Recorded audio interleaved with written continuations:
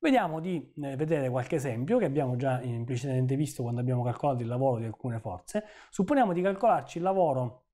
della forza peso, abbiamo già visto, vogliamo di volercelo calcolare un punto, da un punto A a un punto B, quindi avremo questa è la coordinata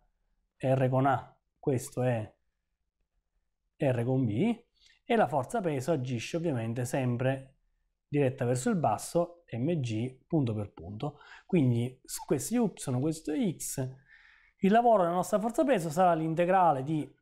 mg scalare dr tra A e B,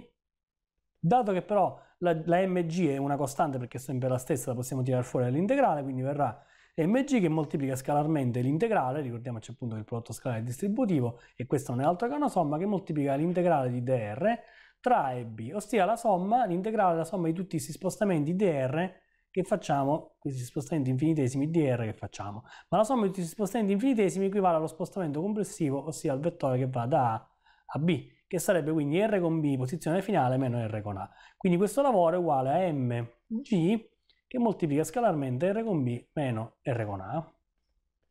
Quando andiamo a fare questo prodotto scalare, tenuto conto, se lo possiamo fare sia tenuto conto del, del coseno dell'angolo oppure utilizzando semplicemente le componenti lungo x e lungo y, questo sarebbe mg con x che moltiplica rbx meno r eh, ax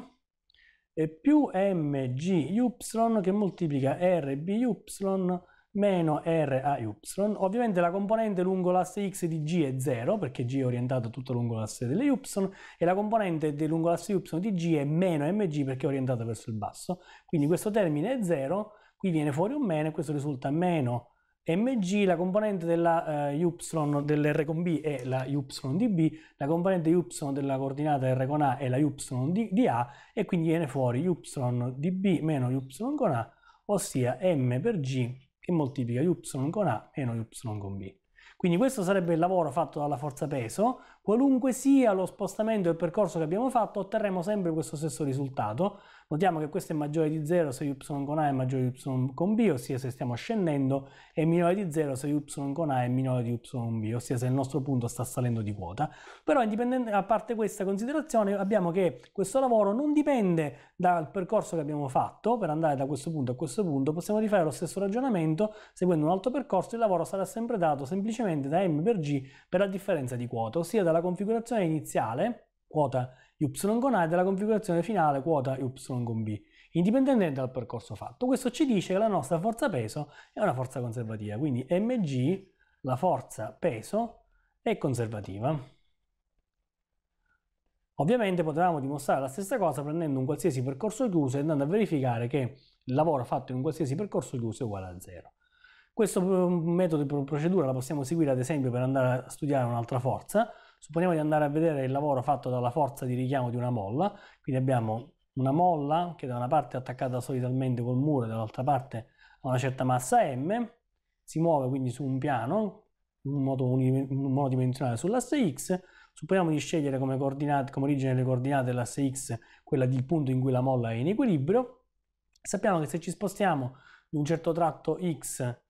e portiamo il nostro corpo qua di un certo tratto x, la forza F è uguale a kx, dove k è una costante che dipende dal tipo di molla e x è appunto lo spostamento della posizione di equilibrio. Normalmente qui mettiamo un meno per sottolineare che la forza è positiva quando la x, che la forza è negativa quando la x è positiva, quindi è una forza di richiamo, e viceversa se comprimiamo, quindi se andiamo da questa parte per x negativa, la forza è positiva perché tende a spingere. Se andiamo a calcolarci il lavoro fatto, ad esempio, per andare da un certo punto, dal, dal, dal punto di equilibrio 0 a un certo punto x segnato e successivamente tornare indietro, quindi lavoro per andare da 0 e tornare a 0 sarà uguale al lavoro per andare da 0 a x segnato più al lavoro per andare da x segnato a 0, quindi sarà uguale all'integrale di f in dx tra 0 e x segnato più l'integrale di f, quindi f con x, f con x in dx tra x segnato e 0, dove f con x in dx il lavoro lo possiamo direttamente scrivere in questo modo perché la forza agisce direttamente lungo l'asse Lx e quindi possiamo scriverlo direttamente come la componente f con x per lo spostamento di x. Questo se andiamo a sostituire la nostra forza è uguale a l'integrale tra 0 e x segnato di meno kx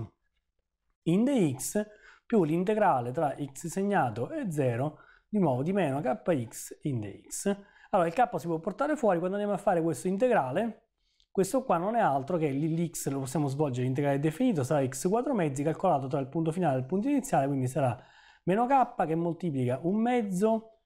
x segnato al quadrato meno un mezzo x eh, sarebbe calcolato in 0, quindi un mezzo che moltiplica 0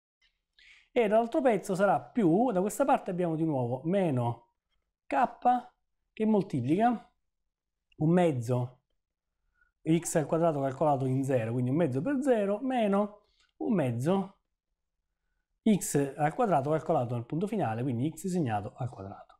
Uguale, uguale, se andiamo a svolgere queste somme, ovviamente, questo è 0, questo è 0, qua c'è un meno k, un mezzo x segnato al quadrato, e qua c'è un meno k con meno, si semplificano, viene fuori meno k mezzi x segnato al quadrato più k mezzi x segnato al quadrato uguale a 0. Quindi il lavoro complessivo per andare e tornare, per andare da 0 a x segnato e tornare uguale a 0. Questo ovviamente vale qualunque sia il nostro x segnato, quindi questo ci assicura che qualunque circuito chiuso noi scegliamo, percorso chiuso noi scegliamo, il lavoro è uguale a 0 e quindi la forza elastica F elastica uguale kx meno kx è una forza conservativa, quindi anch'essa è una forza conservativa. Ovviamente vediamo di trovare almeno un esempio di forza non conservativa, supponiamo di andare a considerare la forza di attrito radente, quindi la forza che si produce quando abbiamo un, un punto materiale, un oggetto posto su un piano, scabro, quindi sappiamo che si produce una certa forza di attrito, se l'oggetto si sta muovendo con una certa velocità v, si produce una certa forza di attrito che è uguale a mu, mu dinamico, al coefficiente di attrito dinamico che dipende dalla, eh, dalle superfici del, dalla finitura, insomma, delle superfici a contatto per la nostra normale, dove la normale è appunto la reazione vingolare che impedisce all'oggetto di eh, sprofondare. Poi ovviamente agisce anche la forza mg e qui ci sarà la normale n. Quindi questa è la nostra forza di attrito, in realtà qua normalmente mettiamo un meno per sottolineare che è una forza opposta al moto. Se ci volessimo calcolare il lavoro fatto per andare per esempio da un certo punto, perché qui supponiamo di metterci l'asse Lx, partiamo dall'origine che è qua, raggiungiamo un certo punto x segnato e poi torniamo indietro. Allora il lavoro fatto, il lavoro per andare da 0 e tornare a 0 sarà il lavoro da 0 a x segnato più il lavoro per andare da x segnato a 0, ossia dato che la forza è costante neanche, non dobbiamo neanche utilizzare l'integrale, possiamo direttamente scrivere forza di attrito per questo spostamento che va da 0 a x segnato, quindi sarà la forza per lo spostamento che vale x segnato per il coseno dell'angolo. Ovviamente quando ci stiamo spostando in questo verso, questo è lo spostamento, la forza è diretta in questo modo, è diretta nel verso opposto e quindi l'angolo è 180 gradi, quindi qui viene fuori un meno 1. Quindi questo è il primo pezzo, quando ci muoviamo da 0 a x segnato, più il secondo pezzo sarà di nuovo la forza di attrito che moltiplica questo spostamento che andrà da x segnato a 0, quindi il modulo è sempre x segnato, e anche qua la forza quando ci spostiamo da x segnato a 0, questo sarà lo spostamento, e la forza sarà ovviamente diretta da questa parte perché è sempre opposta al verso del moto. Quindi anche in questo caso l'angolo sarà a 180 gradi, quindi anche qua viene fuori un meno 1. Quindi la forza di attrito compie sempre un lavoro negativo, visto che il suo verso è sempre opposto a quello dello spostamento, in tutti e due i tratti il lavoro sarà sempre negativo. Quindi questa sarà la somma di due termini negativi, sarà uguale a due volte forza di attrito per x segnato, che ovviamente è diverso da 0. O in altre parole possiamo anche immaginare se ci dobbiamo spostare da un certo punto a un altro eh, e possiamo immaginare di andarci seguendo questo tratto avremo certa, un certo lavoro della forza di attrito che sarà meno forza di attrito per lo spostamento, immaginiamo che questo sia d, se immaginiamo di fare lo spostamento seguendo prima questo percorso e poi questo percorso, poiché eh, questo tratto e questo tratto, in questo tratto e in questo tratto il lavoro sarà sempre negativo, quindi andrà a sommarsi, e, e, complessivamente il lavoro fatto in questo tratto e in questo tratto, la somma di questi due sarà maggiore di quello fatto solamente in questo. Quindi il lavoro non è indipendente dal percorso fatto e, e dipende dalla strada che facciamo per andare da un certo punto iniziale, che è questo, a un certo punto finale, che è questo qua. Per cui il lavoro non è indipendente dal percorso questa relazione o questa ci dice che è in questo, questo calcolo ci dice che è indipendente dal percorso ci permettono di dire che la forza di attrito radente non è conservativa e non lo è nessuna forza di attrito in generale neanche non è conservativa. Quindi abbiamo visto due esempi di forze conservative e uno di forza non conservativa